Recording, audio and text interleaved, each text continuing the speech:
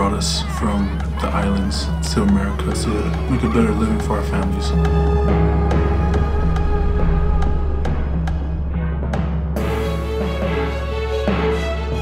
And football just happens to be the best way for us to do that.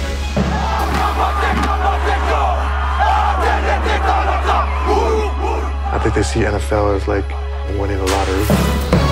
One of the best running backs to ever come out of the state of Utah. They thought that was just a big Polynesian that knew how to run over little white kids in Utah. I knew that football was going to be the way out. Football means a lot to me. That's the only time I can hit someone and not get arrested. My family don't got money. Being able to support myself, it, it do a lot. The thing that's difficult for the kid is that their parents expect them to play in the NFL at the cost of everything else. I want to be the proud mom who checks in at the ticket box and it's like, my son is playing today.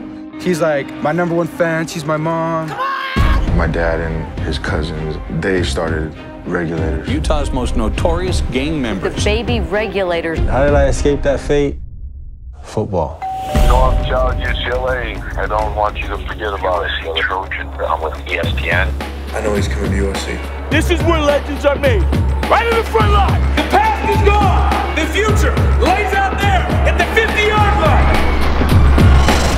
We come from a line of warriors. Our culture embodies what football is.